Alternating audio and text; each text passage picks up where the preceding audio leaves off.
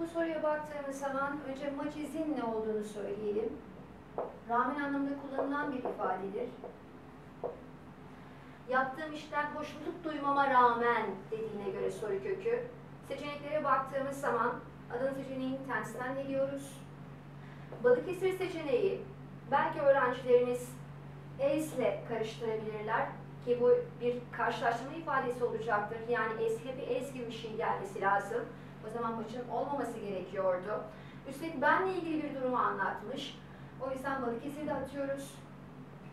Deniz seçeneğine baktığımızda ise ki doğru yanıt deniz seçeneğidir. Evet, yaptığım işten hoşnut duymama rağmen patronumla geçinmekte zorlanıyorum demiş. Rağmen anlamını oluşturmuş. Ceyhan seçeneğinde ise her iki tarafta da duyulan memnuniyet dile getiriyor. Rağmen dediğimize göre bu olamaz. Seçeneğine baktığımızda ise şu andaki işinden eee, çok fazla para kazandığından bahsediyor. Yine rağmen anlamında kullandığımıza göre hem yaptığı işten hoşnut duyacak hem de fazla para kazanacak. Bu zıtlık oluşturan bir durum değildir diyoruz.